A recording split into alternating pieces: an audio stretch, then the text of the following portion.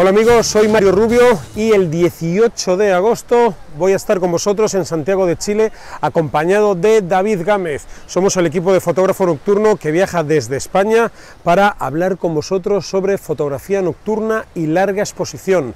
Vamos a hablar de linternas, vamos a hablar de flashes, vamos a hablar de iluminar escenas por la noche. Así que os invito el 18 de agosto a venir a Santiago con nosotros y disfrutar de la magia de la fotografía nocturna.